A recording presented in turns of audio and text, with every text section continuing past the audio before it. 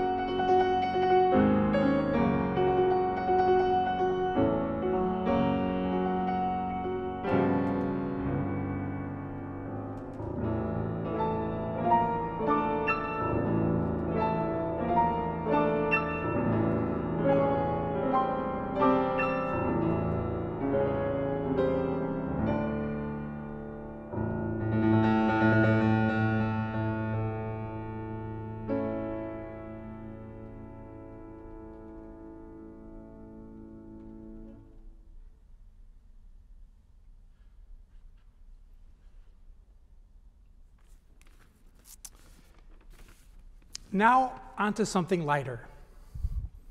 The piano prelude, The Engulfed Cathedral by Claude Debussy, expresses a vivid impression of an old French legend in Brittany that says the town's cathedral sank into the sea because of the sins of the townspeople. Okay, this is only a slightly lighter note than my first piece. Okay? However, at sunrise, the cathedral slowly rises from the water, glistens in the sunlight, then slowly sinks back into the sea.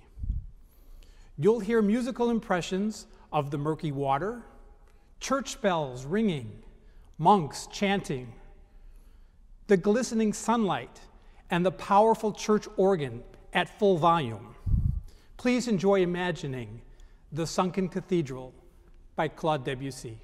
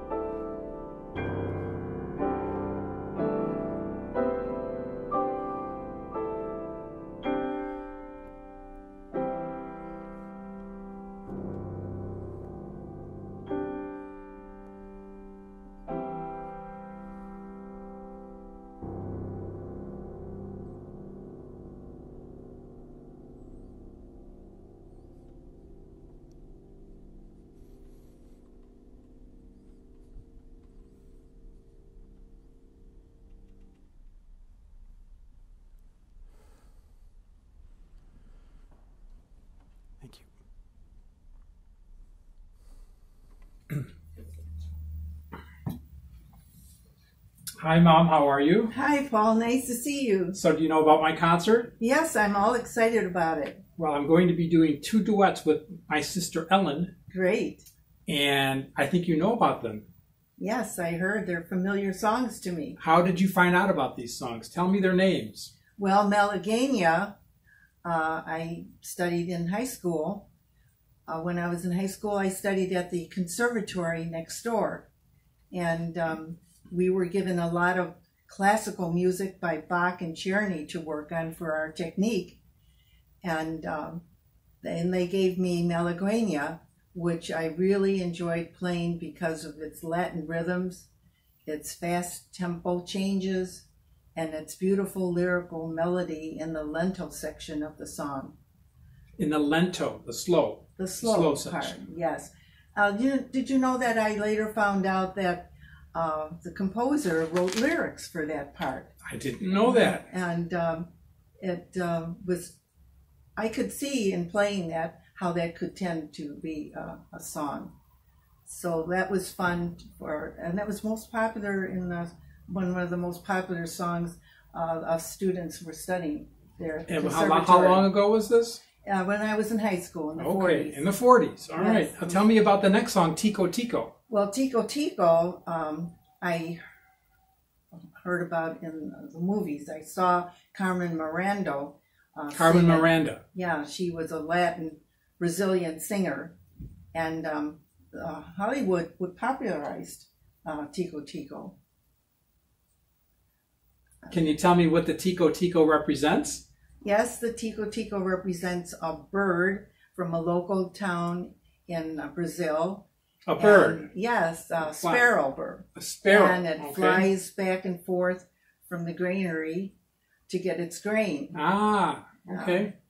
So, um, but really, what inspired me to play Tico Tico was hearing and seeing Ethel Smith. Ethel Smith, the Yes. Hammond organ lady. Yes, she was a played the theater Hammond organ, and she um, did a dazzling performance of Tico Tico in a movie, In the movie. and that inspired me to go out and get the piano music and learn it.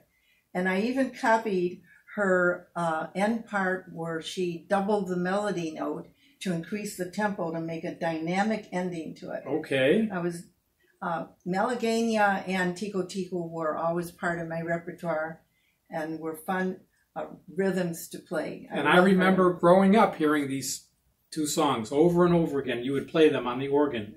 Well, I played them on the piano. Piano, oh, excuse Yeah, me. yeah. Okay. Those were piano songs. So you will be hearing Malagueña and Tico Tico for piano four hand, performed by myself and my sister Ellen Coleman.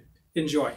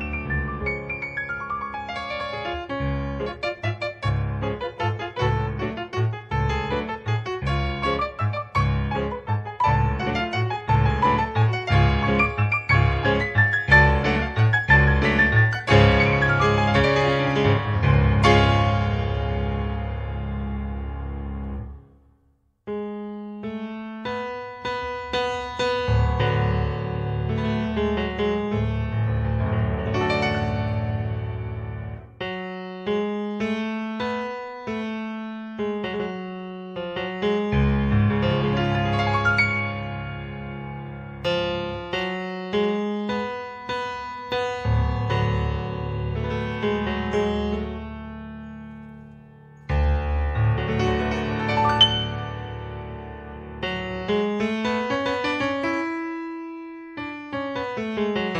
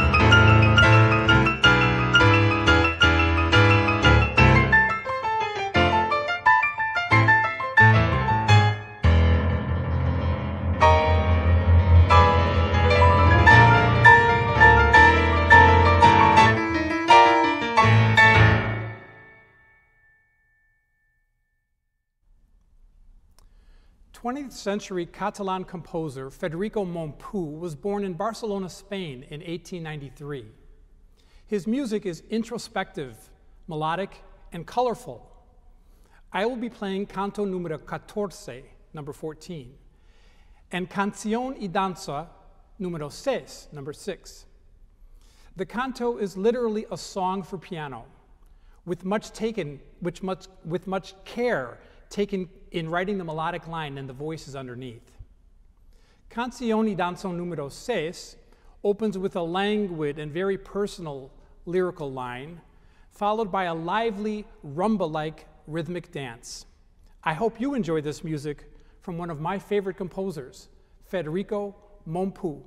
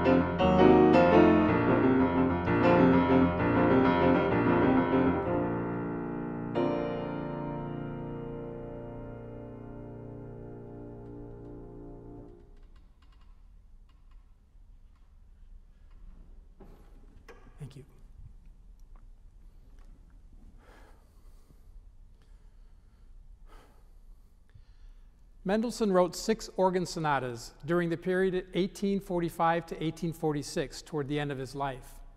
For the most part, Mendelssohn's compositions follow the path of Bach and Beethoven and are not particularly groundbreaking in form. However, his works do have a wonderful lightness of spirit and imagination that remains popular with audiences today. The six organ sonatas are considered standard in the organist repertoire. And number five just happens to be my favorite. There are three movements an opening chorale in D major, followed by an andante con moto, B minor, and ending with the allegro returning to the home key of D major. Once again, Organ Sonata number five by Felix Mendelssohn.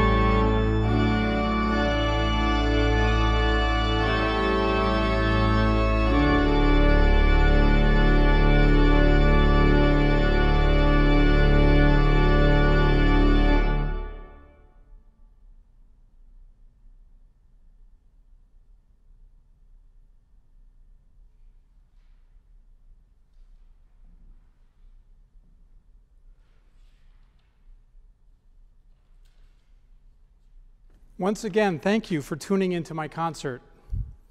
All donations will benefit the PADS organization. It's been my pleasure working with and getting to know all the wonderful people here at First Congregational Church of Glen Ellyn. I'd like to give a special thank you to Michelle Hecht, Jeff Hager, and all the choir. You guys are the best. And thanks also to Dave Hecht for all of his hard work helping with the video production of this concert. I really appreciate it, Dave. Thank you, everyone, and goodbye.